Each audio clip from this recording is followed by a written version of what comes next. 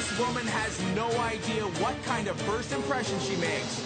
She's about to find out. In style by jury. Azar Nafari thinks she's here to audition for a makeover show. What she doesn't know is that she's already been chosen. The show has begun, and of course, we have a secret.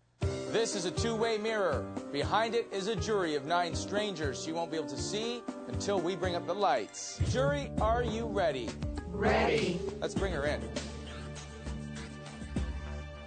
Hi, I'm oh Bruce. Oh my goodness, she really looks like a man. Oh, She looks like she's in pajamas. We're taking relaxed and casual to a new level. Azar, you were told you were coming in here today for an audition. Right. Right. That's not right, Azar. This is, in fact, not an audition. Take a look at that mirror right there. Azar, those people back there behind the two-way mirror, that's our jury. The jury? And they've been back there since you came into this room. And they've been instructed to tell us what kind of first impression you make.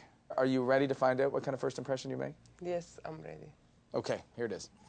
Oh my goodness, she really looks like a man. Oh, the skin is horrific. Her eyebrows are one of the worst features on her face because they make her look so masculine. It looks as if she's never left the house. I think she looks like she hasn't had fun in a long time.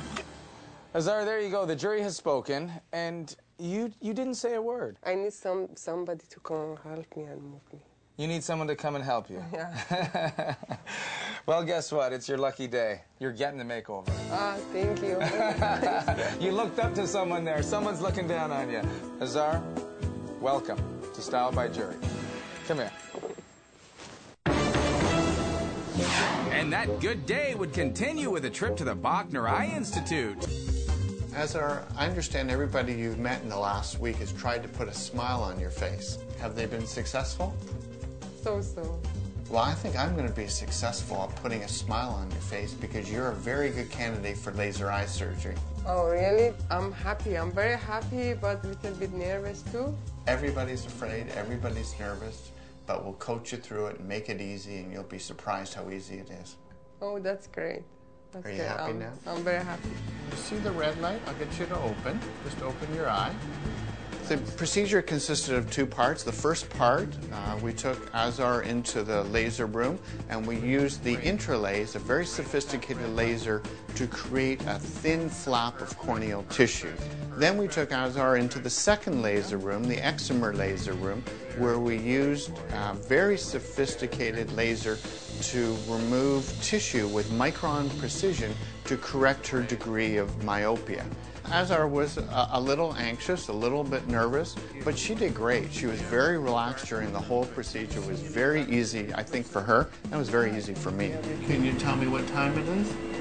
It's 20 to 8. Congratulations. You couldn't do that before. You did fabulous.